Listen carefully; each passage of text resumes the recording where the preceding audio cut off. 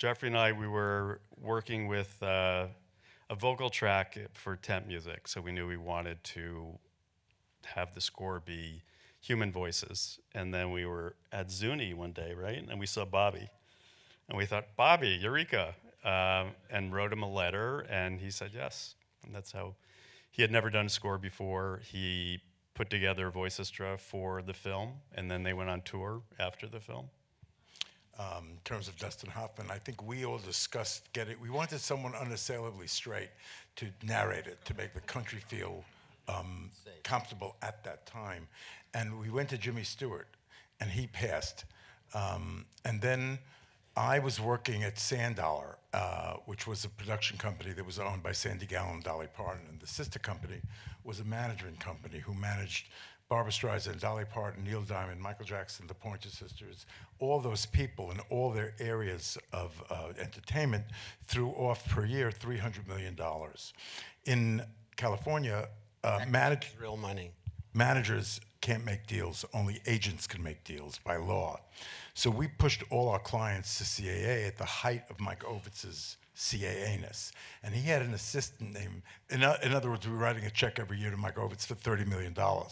So Mike had to be very good to me, but he had like 100 other schmucks that he had to cater to as well. And I learned how to use those levers of power.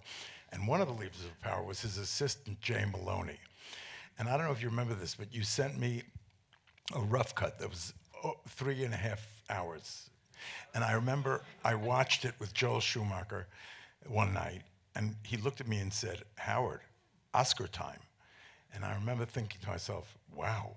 And I remember calling up Jay Moloney and I said to him, I, I need you to watch this movie because Mike represents Dustin Hoffman, and I want you to get this rough cut to Dustin Hoffman. And so he did. And then the next day, I called up Mike Ovitz and I said, I need you to watch this three and a half hour rough cut, which he did. And the next morning he called me up and he said, This deserves an Oscar. Dustin Hoffman has never done pro bono. He's in London now doing Death of a Salesman. I will get this to him. And the guys went to him and got him. Bill and I went to London and recorded him, and the only thing he asked for was bananas. Remember bananas in the recording studio for energy. Right, right. And he was doing a play, so I. You never know with somebody that's that prominent and, and also that busy.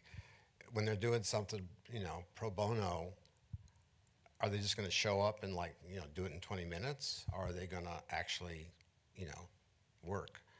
And obviously, Dustin actually worked, and he did every change, did every fix. Let's try this, let's try that. He could not have been sweeter or more supportive. And somebody, I forget who it was, somebody in the room, and Dustin, I think, has eight eight children, something like that. Um, and someone said, "Well, if one of your kids was gay, you know, would you be okay with it?" Which again shows you how long ago it was, because now nobody would think of asking, would that be okay or not? But somebody asked him, and he said, well, of course I'd be okay, so long as, you know, they had someone they loved and it was cool. So, well, so what could piss you off that your kid could do? And he thought about it for a second, he says, they could be a critic. He allied himself with the quilt um, and this project. I mean, everywhere we went, he was, you know, and is very, very proud of his work and still talks about it to this day.